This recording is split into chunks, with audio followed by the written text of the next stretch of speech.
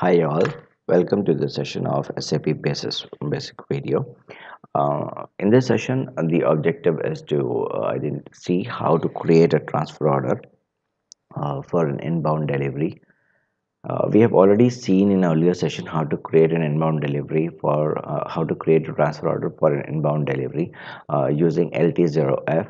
Now we would be seeing how to create a transfer order for an inbound delivery using LT03 so the we already have an inbound delivery in place. So i'm going into vl32n to check. This is the inbound delivery. So here you can say the overall put away status is a. Overall wm status is a. So we had one uh, transfer order which we have already cancelled. I just wanted to uh, show for the same inbound delivery. That's why i have cancelled the previously created transfer order. Now i uh, would be showing how to create a transfer order for this inbound delivery with respect to LT03 so I'm going into the transaction now. LT03 and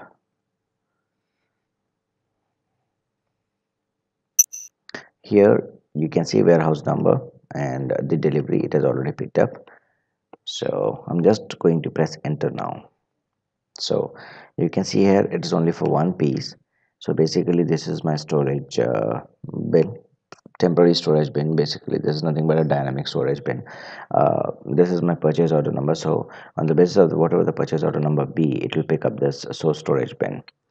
So i'm going to do a put away foreground so it has picked up one one and uh, i'm just going to save this. That's it. So you can see the transfer order is created so I'm going to see what changes has has this made to my inbound delivery.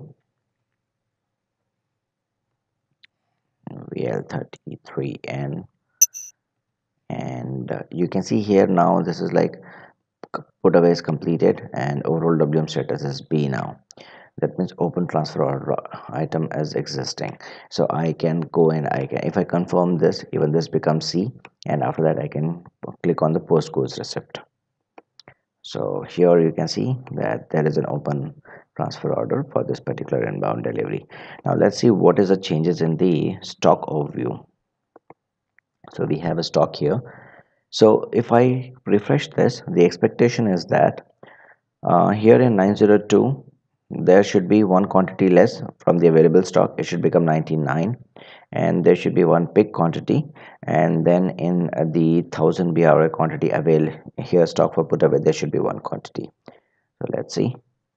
Right. So here you can see under 902 there is one pick and stock for put away. There is like one put away. Now if I go into details you can see here this is my storage bin uh, my dynamic purchase order number.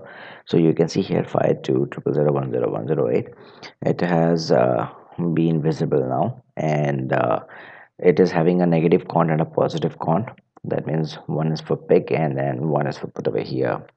So um, if I go and if I confirm the transfer order then in that case this one and this one will vanish and this will become 1.165 all right